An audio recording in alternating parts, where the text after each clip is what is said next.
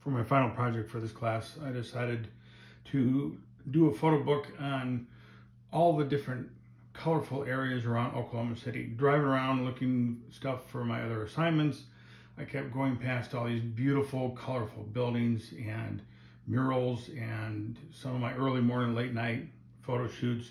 There's all this gorgeous neon art all over the city. And it is definitely not what people think of when they look at Oklahoma City. So I figured I would put that together in a photo book to kind of showcase that.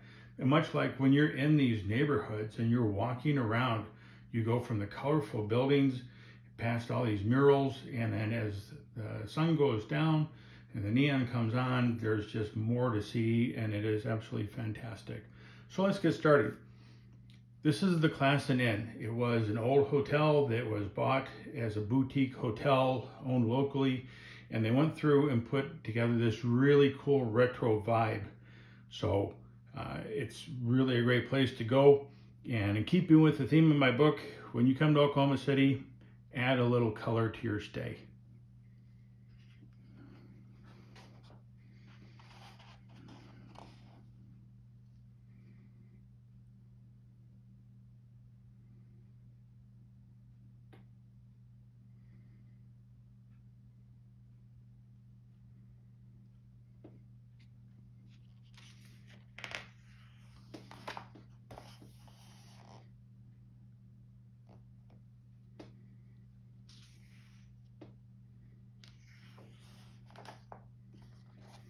These photos were taken in the Wheeler District.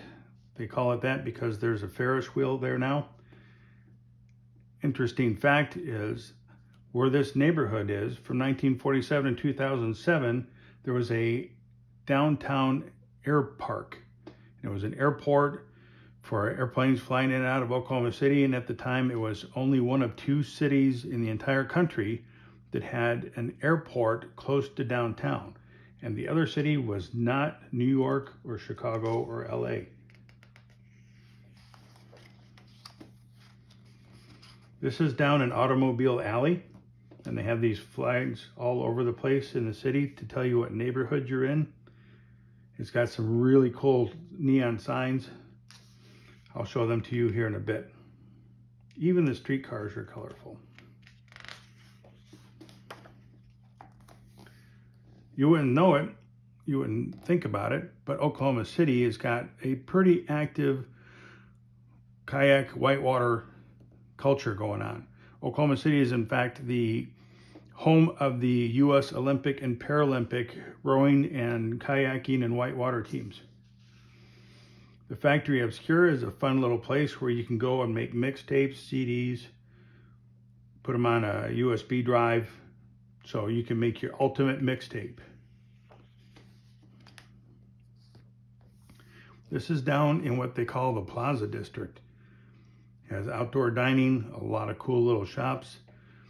And walking through there past all these colorful buildings, next thing you know, you're passing all these different amazing murals all over the place.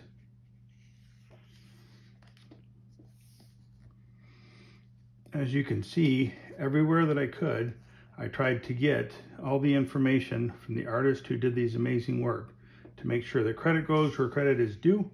And if you want to see more of their work, you can look them up.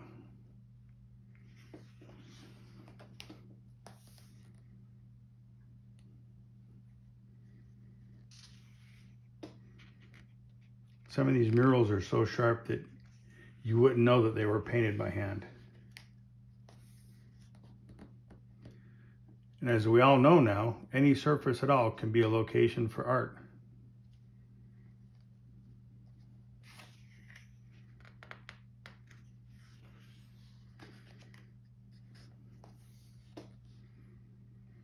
This piece really struck me because some of these lines are so incredibly crisp.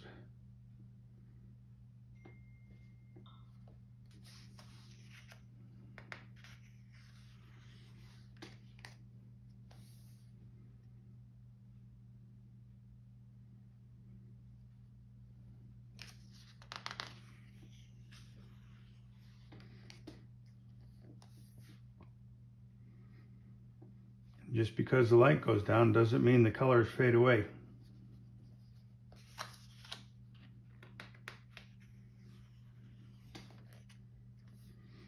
This is a historic theater on the north side of Oklahoma City. It's been renovated, has a lot of underground alternative bands, uh, a lot of cool stuff like that. As you can see, presented by this bank, there's a lot of businesses that will come and buy out every seat and open it up as free concerts for all the people to come and enjoy. Just another reason why I love my city.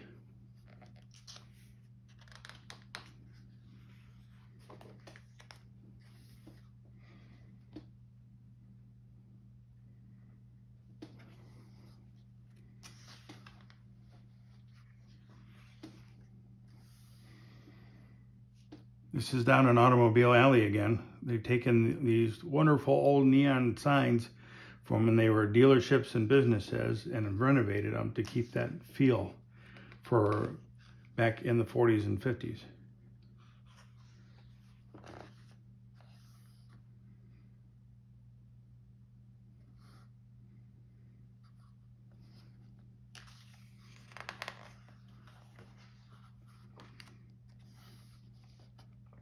My goal is to make you feel like you're actually walking through the area with this book. So you'll see this little sign down here that kind of catches your eye. And here's a lot more of it.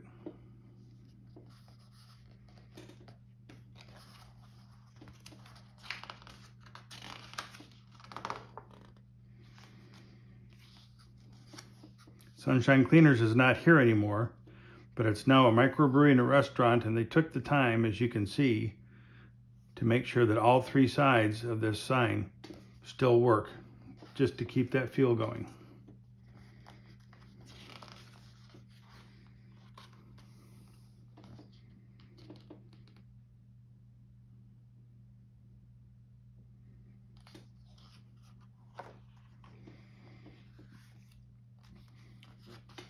Feedback from one of my professors said that I needed to work on making sure that people knew this was in Oklahoma City. And I originally thought about putting QR codes on all the different pages, but I didn't want it to feel too touristy. So if I were to print up more copies of this, I think back here, I would put all the different locations in order so that when you came here, you could go and see them.